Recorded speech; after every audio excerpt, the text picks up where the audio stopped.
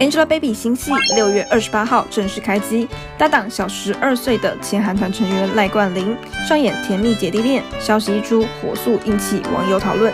不要说妈妈不介意，不要拿他和其他男生比，不要跟他低年龄，不要和他谈前任，不要说偶像剧无聊，不要说打游戏幼稚，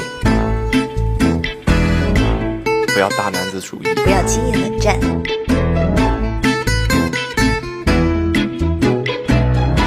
要质疑他的品味。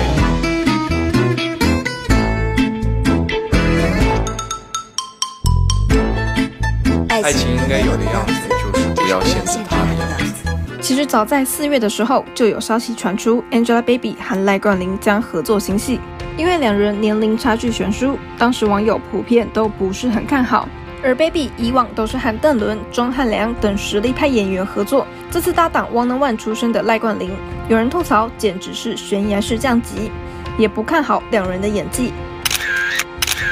如今《爱情应该有的样子》海报和预告释出，情侣居家风格，恋爱氛围破表，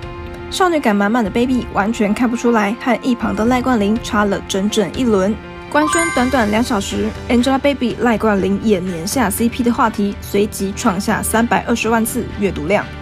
高颜值养眼的 CP 组合也直接消除了网友们最初的疑虑，对戏剧的评价也直接来个大反转。不过也因为才刚刚开机，到正式播出还有一段漫长的时间，有网友逗趣喊话：能不能边拍边播？因为实在是等不及了。